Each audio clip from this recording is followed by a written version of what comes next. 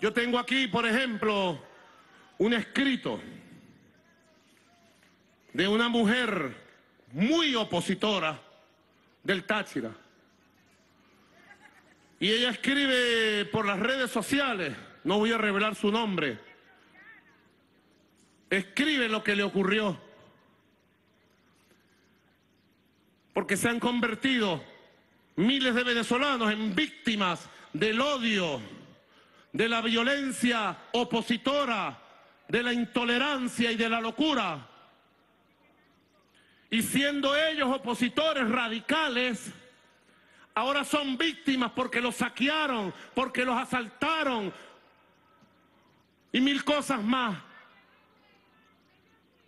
Fíjense lo que dice esta señora. Oído. Dice, estoy totalmente decepcionada. ¿Dónde están mis lentes?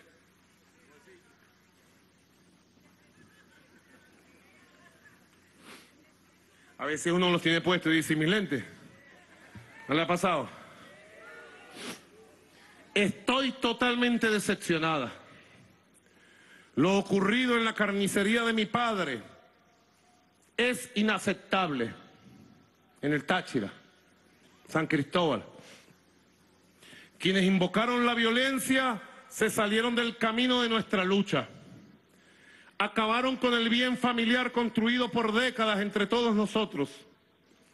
Durante mucho tiempo hemos apoyado hasta logísticamente a quienes pacíficamente han demostrado querer un mejor país y hoy nos pagan acabando con nuestro negocio. ¿Quién gana con el saqueo? ¿Quién gana con robar a quienes trabajamos? El gobierno. ¿Qué pregunta ella? Yo estoy leyendo sus palabras, porque ahora viene una parte que la voy a leer que pudiera parecer muy dura con nosotros, pero yo la leo. Yo escucho a todos los venezolanos, leo a todos los venezolanos. Así hagan las más injustas, indiscriminadas y violentas críticas. Tengo la obligación como presidente de escuchar a todos los venezolanos, a todas las venezolanas y de atender los reclamos de todos. Dice, ¿quién gana con robar a quien trabajamos? El gobierno. Lo más triste, lo más triste, dice ella, es que ni echarle la culpa a los malditos chavistas podemos. Porque es notorio que esos coños no fueron porque los que saquearan andaban con gorra tricolor manchando el honor de lo que eso representa para los venezolanos. Estoy totalmente decepcionada de la oposición de nuestra ciudad. Hasta personas cercanas a la alcaldesa Patricia Ceballos llamé para que nos ayudaran y su respuesta fue, ¿quién los manda a abrir y a tener mercancía en su negocio? Pregunta ella, ¿de qué dictadura hablamos? ¿De qué régimen nos quejamos? Si al final no contamos ni con nuestros representantes y líderes que terminan dejándonos solos. Por favor, reflexionen. Queremos un mejor país, no lo destruyamos no dañemos el futuro de nuestros hijos, luchemos como la más arrecha del gobierno, pero en paz. Es mucho pedir, es mucho exigir, se pregunta ella. La Venezuela de paz se nos está acabando. Nuestra familia se quedó sin nada. Y reitera, sin nada. Se le salió de control estas manifestaciones a la oposición y el maldito gobierno sigue haciendo de las suyas en contra nuestra. ¿Qué esperamos? Matarnos entre pueblo y pueblo. Pido ayuda de alguna autoridad. Esto es terrible lo que nos está pasando. Presidente Pérez Abad, por favor, de manera inmediata llama a esta señora y préstele toda la ayuda como venezolana atiende este caso de manera inmediata y los casos de todos los que han sido destruidos, panadería, abastos, carnicería, autobuses.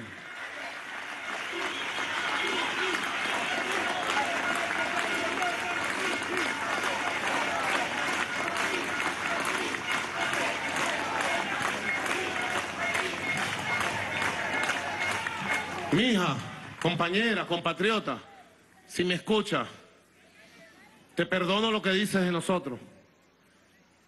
Yo no sé cómo hacerte cambiar de opinión. Yo jamás te diría maldita, nunca te diría maldita. Yo te digo bendita, que Dios te bendiga y te permita recuperarte del saqueo de quienes sí echaron sobre ti una maldición, el saqueo y la violencia. Esos sí son quienes tienen maldiciones en la calle. Que Dios te bendiga a ti y a tu familia por siempre.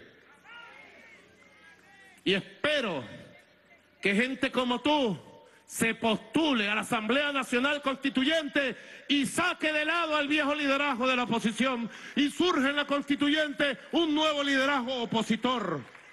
Ojalá racional, ojalá patriótico. Ahora eso no es lo único que el odio, la intolerancia que ellos han promovido es brutal. Se les fue de las manos. Hay un video que circuló ayer de un comerciante del CCCCC, CCCCT. Ahí íbamos nosotros cuando éramos chamos. Ahí hay un compañero que se crió conmigo, nacimos juntos en la misma cuadra, desde niño. Y cuando éramos chamos, en el año 76 inauguraron el CCT aquí en Caracas. Y nosotros nos las pasamos, bueno, ya fue la generación que empezó a vivir en los centros comerciales. Eso no era así antes, antes la gente iba a los parques. No iba para el centro comercial a caminar y se metía en el cine. ¿Verdad? O iba por el centro comercial a ver las tiendas sin poder comprar nada, porque no tenían ni medio ni trabajábamos. O de repente uno veía un balón de fútbol bien bueno y le dábamos a ahorrar entre todos y al mes, dos meses íbamos y comprábamos un buen balón de fútbol. CCCCC, Dicen que era de Carlos Andrés Pérez. Lo construyó Pedro Tinoco, que en paz descansen los dos, del Banco Latino. Yo trabajé en el CCT. Trabajé en el Banco Latino, no sé si todavía queda alguna agencia del banco ahí. Trabajé en la gerencia en la vicepresidencia de la zona sur. Fui mensajero externo y después fui eh, como jefe del archivo que había ahí. Yo conocí a toda esa gente, déjeme decirle. Los veía ahí pidiendo pagaré. Llegaban porque estaba el vicepresidente, que era el jefe mío, señor Max Pérez, creo que se llamaba. No sé dónde está. Y ahí llegaban todos, políticos de Alcurnia. Y ahí me tocaba archivar los pagarés firmados de manera expresa con varios millones para los políticos de entonces. Así se manejaba la política en Venezuela y así maneja la política la derecha. En el CCT ayer, valga sucedió algo horrible, producto del odio que Julio Borges impulsa y ha impulsado contra nuestro pueblo, producto de la intolerancia fascista. Lo que ocurrió ayer, así pasaba en Alemania, así perseguían Hitler y los nazis a los judíos. Ustedes lo han visto en las películas. Una cacería de judíos, les asaltaban las panaderías, los negocios, los buscaban en las calles, le pusieron una, una, estrella amarilla para saber que eran judíos, los humillaban. Como dice Bertolt Brecht, un gran escritor y poeta de la época de Hitler, decía él, vinieron por los sindicalistas y nadie hizo nada. Luego vinieron por los comunistas y nadie dijo nada. Luego vinieron por los homosexuales y todos callaron. Y cuando vinieron por mí, no había nadie que dijera nada. Así es el fascismo cuando avanza con su terror. Así pasó en la Alemania nazi. Y así pretenden ellos que pase en Venezuela. No va a pasar. En Venezuela va a triunfar la tolerancia, la diversidad, el amor, el respeto, la justicia y se va a imponer la paz. Pero saquemos lecciones. El chavismo es garantía de estabilidad, de respeto a la diversidad, de tolerancia. Imagínense ustedes que ellos llegaran al gobierno. No alcanzarían los estadios para meter a los que ellos consideren chavistas para torturarlos, golpearlos y matarlos. ¿O miento? Les voy a mostrar este video de un señor que no conozco. Me dicen que es un señor empresario con una familia de clase media alta, muy opositor. Y en el CCT lo persiguieron porque era chavista. Le dieron golpes en el piso, lo humillaron. ¿Y qué dices tú, Julio Borges? ¿Qué dice la MUT? Yo reto a la MUT a que haga un llamado a la tolerancia, a que condene estos hechos de violencia y a que cesen sus actos de intolerancia y de odio contra el país. Yo llamo a la MUT a que abandone el camino de violencia y venga el diálogo constituyente, venga la paz, venga la concordia. Basta ya, Mut, basta ya, Julio Borges. ¿Hasta dónde vas a llegar? A mí me duele cuando yo vi esto por las redes anoche. Me dio una indignación. Violencia trae violencia. No permitamos, compatriotas, les digo a todas y a todos, no sé quiénes de ustedes son chavistas y quiénes no son chavistas. Los quiero igual a todos. Los quiero por igual. Que yo sé que aquí hay gente que no es chavista. Y bienvenidos. Y les tiendo mi mano y los quiero. Y les doy un beso. Porque a ninguno, ninguno de ustedes se le pide carné para trabajar. Respeto sus ideas. Si me quieren, muy bien. Y si no me quieren, lo respeto. Y yo los quiero a todos. Es mi naturaleza, de mi corazón, lo que surge es amor. Y como presidente he cultivado una sensibilidad más profunda para amar al pueblo, no importa su opinión, no importa su opción política.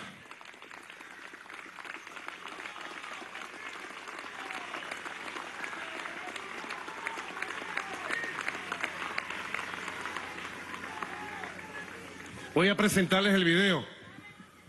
Quienes tengan algún niño o niña frente al televisor ahora, yo les pido que no le muestren estas imágenes. Son imágenes violentas, dolorosas. Luego surgió, parece una carta, unas fotos de esta familia, le envío un saludo, no los conozco, mi respeto, donde ellos condenaban este ataque miserable y, bueno, todo mi respaldo. Si tienen algún daño moral o físico y yo los puedo ayudar, me ofrezco para ayudarlos en lo que ustedes consideren necesario. Familia venezolana, víctima del nazismo y del fascismo. Vamos a ver el video. Adelante.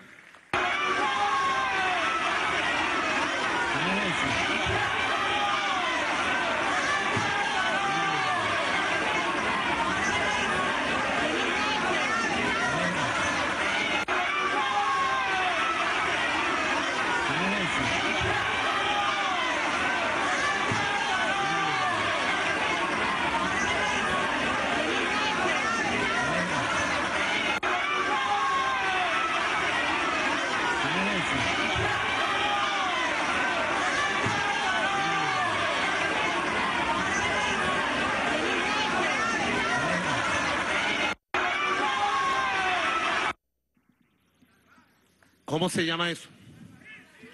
Fascismo, salvajismo. No al fascismo, no al nazismo, no a la intolerancia. Llamo a Venezuela, compañeros, compatriotas, a que levantemos un poderoso movimiento por la tolerancia, por la paz, por el amor contra el fascismo. Basta de fascismo. Yo les pregunto sinceramente, ¿Ustedes están de acuerdo con eso? ¿Y qué hacemos? ¿Nos quedamos con los brazos cruzados? Yo pido justicia a los órganos policiales. Ya están identificados todos los agresores y es cuestión de tiempo para que los capturemos y se los entreguemos a la Fiscalía y al Poder Judicial. Presos y bien castigados tienen que ir. También les quiero mostrar un video. Otra vez quiero mostrar un video en Madrid. Cómo fue agredido un joven peruano que pasaba por una calle de Madrid donde había un grupo de opositores fascistas de derecha venezolanos que viven allá. Lo persiguieron porque, bueno, por su cara, por su mirada, yo no sé por qué. Dijeron que era chavista y lo persiguieron, lo golpearon, casi lo linchan. Esa es la gente que ustedes quieren que llegue al poder. Debemos permitir eso. Nos cruzamos de brazos y nos rendimos. Les entregamos el poder a ellos. Yo me hago todas estas preguntas porque uno debe de hacerse preguntas y responderla desde el corazón.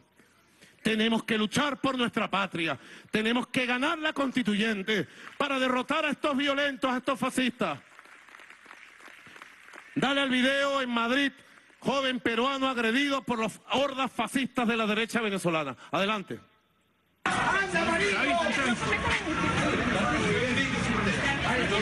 lo que pasó en Venezuela. ¡Asesino! ¡Asesino!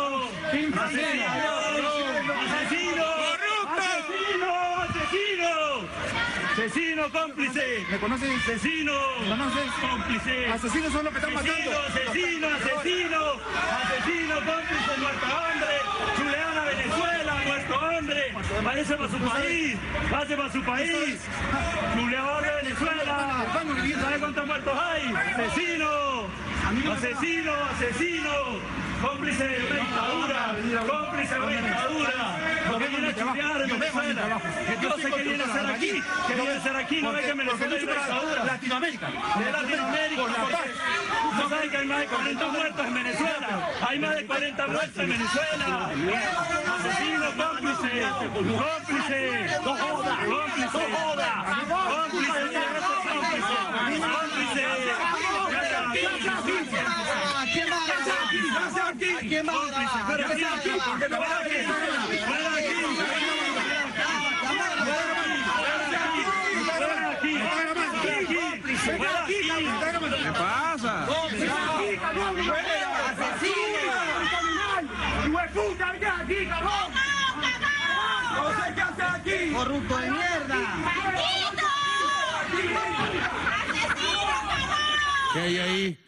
Odio, odio, odio.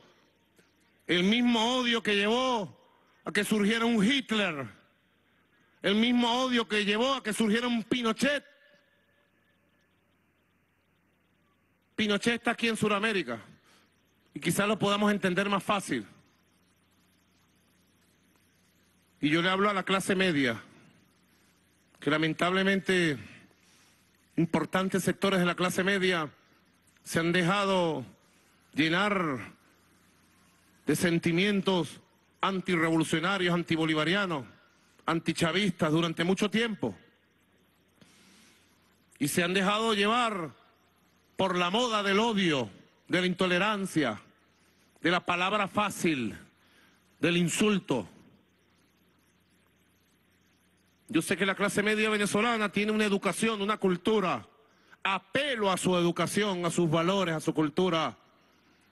Y los llamo a la tolerancia, al respeto, al reencuentro, a la reconciliación entre los venezolanos a través de una Asamblea Nacional Constituyente que nos una, nos reencuentre, nos reconcilie a todos y a todas.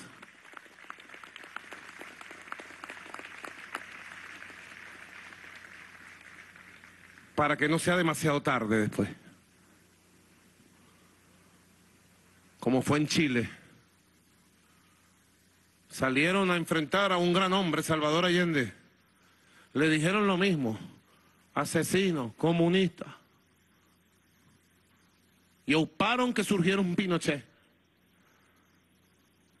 Llenaron de violencia Chile, sabotearon la economía, pusieron bombas, destruyeron los servicios públicos. Todos los medios en contra. Y Salvador Allende, un gran hombre, humanista, al final lo asesinaron, bombardearon el palacio presidencial e impusieron una dictadura por 18 años. ¿Y quiénes fueron las primeras víctimas de esa dictadura? Apelo a la razón, doy argumentos para que sean reflexionados por todos. Ustedes saben quiénes fueron las primeras víctimas, muchachos, jóvenes que están aquí. Ustedes son muy jóvenes, quizás algunos no han escuchado quién es Salvador Allende. Ni Chile, 1973, busquen. Ustedes saben cuáles fueron las primeras víctimas dejaron solo Allende. Afortunadamente a nosotros no nos ha dejado solo el mundo, ni el pueblo, ni la Fuerza Armada, y tenemos un poder que hemos activado, el poder del pueblo. Pero quiero llegar a este punto. Ustedes saben quiénes fueron las primeras víctimas. La juventud de la clase media. Detenían a la gente en las calles por lo mismo de esta gente, porque parecía allendista. Llenaron los estadios, en el Estadio Nacional de Santiago de Chile, le metieron 40 mil personas agarradas en las calles. Hubo más de 5 mil desaparecidos, más de 30 mil torturados. Y pare usted de contar. Y ustedes saben quiénes fueron los primeros que se arrepintieron, pero ya era tarde la clase media que apoyó el golpe de Estado de Pinochet contra el gran presidente Salvador Allende de Chile. Por eso yo he perseverado, he luchado, porque no voy a permitir que en Venezuela se imponga el fascismo y venga un Pinochet a acabar con la obra hermosa de la revolución bolivariana y acabar con la obra hermosa del pueblo y de la juventud. Pido el apoyo de ustedes. No me dejen solo en esta batalla. Esto es una batalla por todos. Es una batalla por todas. Para concluir esta, estos cinco minutos de terror. A veces hay que ver el terror con los ojos para saber qué es lo que estamos enfrentando. Porque seguro muchos de ustedes salen a trabajar temprano. Después buscan a sus muchachos, los atienden, ven la novela y pocas estas cosas ustedes las conocen, ¿verdad? Por eso hago esta cadena y la estoy transmitiendo por Facebook Live, Periscope, Instagram y por YouTube.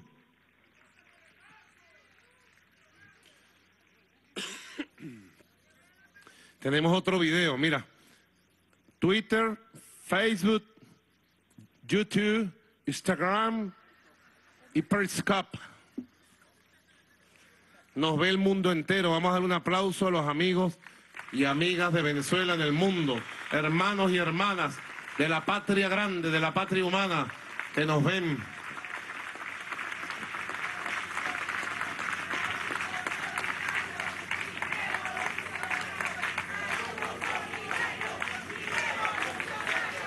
Fíjense ustedes, otro video que corrió duro por las redes hoy. Creo que yo solicité que taparan el rostro de este joven que ayer iba pasando por el distribuidor Altamira y le pasó lo que le ha pasado a miles de compatriotas. Lo paran los encapuchados de Julio Borges, lo martillan, lo amenazan, lo atracan, lo roban, lo humillan. Los agreden, abusan, queman. En estos días hicieron una locura. Prendieron en fuego un camión lleno de gas. Y el chofer, valiente chofer, viendo la cabina en fuego y el rodeado de fuego, aceleró y salió de allí. Y él mismo apagó el camión porque si no hubiera explotado detrás del Zambil, en la autopista, y qué hubiera pasado si explota un camión full de gas cuántos muertos y heridos hubiera habido en toda esa área del Zambil y de los manifestantes que estaban allí opositores violentos. ¿Hasta dónde vas a llevar esta locura, señor Julio Borges? En nombre de un país entero, le pido, le exijo a la MUT que pare la locura de violencia, de odio y de intolerancia que han lanzado contra el país entero. Tenemos que ganar la paz, tenemos que vencer a los violentos y tenemos que impulsar la Asamblea Nacional Constituyente como gran instancia salvadora de la paz en Venezuela. Tenemos que ganar la paz, tenemos que triunfar la paz con justicia. Voto sí, balas no.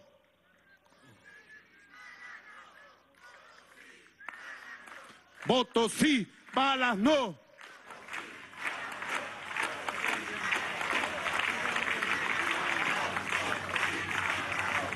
Constituyente sí, guarimba no. Constituyente sí, violencia no. Constituyente sí, odio no. Constituyente sí, terrorismo no. Sí, sí, el pueblo dice sí, sí, sí a la constituyente. Tenemos que salir a cantar, a pintar, a despertar el espíritu nacional del sí constituyente.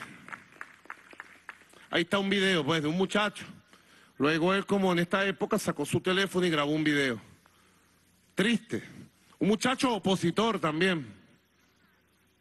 Por eso le digo a esta clase media que existe gracias a la revolución. Porque la clase media venezolana, en el año 1998, cuando llegamos al gobierno, era el 8% de la población en general.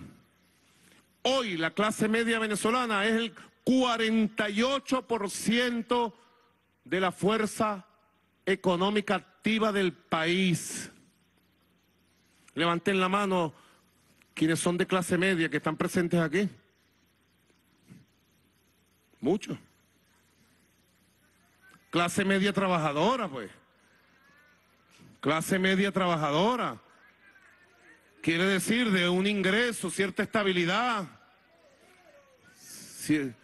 yo me siento clase obrera. Me educó un hogar de clase media. Vengo de un hogar de clase media. Trabajadora, profesional. Caraqueño. Lejarde. Caraqueñito, caraqueñito, caraqueñito. Ahí está un testigo, pues que me vio nacer, me lleva unos meses. Ahí está otro video, pues, en la tarde del terror. Diez minutos de terror para que haya conciencia. Yo pido a las redes sociales que corramos estos videos con reflexiones y llamemos a un gran movimiento de unión nacional, de paz, de tolerancia contra la violencia y contra el odio. Adelante video. Oído. 18 de mayo, 7 de la noche. Les cuento que acabo de pasar por Plaza Altamira en mi carro. Mi esposa iba en el otro carro con la niña. Y esos héroes con los que ahora contamos acá en el país me martillaron, prácticamente me robaron. A mi esposa la martillaron tres veces. Luego a mí, para dejarme pasar, tuve que darle todo el efectivo porque me lo estaban pidiendo. Me revisaban la cartera. Pero además, viéndome el teléfono, tuve que lanzarlo hacia el piso para que no me lo quitaran. Estos son los héroes. Pero más importante aún, ¿quién se hace responsable de toda esta anarquía acá en Plaza Altamira? ¿El alcalde Ramón Muchacho, Freddy Guevara o algún líder de la oposición?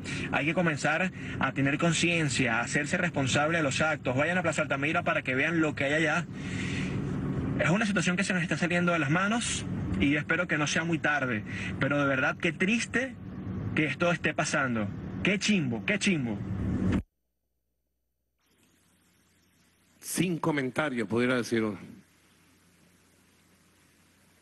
Él de manera muy irónica le dice los héroes. ¿Y quién fabricó este Frankenstein? ¿Quién es responsable de estos grupos de violencia y odio? Maduro. Yo armé a estos encapuchados violentos. Yo los convoqué a la calle todos los días. Yo los convoqué al saqueo, a la violencia y a la muerte. Yo digo, Venezuela, Despierta, Venezuela, reflexiona, Venezuela, unámonos por la paz, por la constituyente, por la democracia. Basta de violencia. Justicia. A ustedes les importa el futuro de Venezuela, ¿verdad? ¿Ustedes quieren guerra? ¿Ustedes quieren que sigan las guarimbas? Hagamos algo entonces. Hagamos más. Porque estamos haciendo, pero tenemos que hacer más. Creemos conciencia en las redes, con la verdad, en las calles. Y fortalezcamos el llamado al diálogo. Diálogo, diálogo y más diálogo.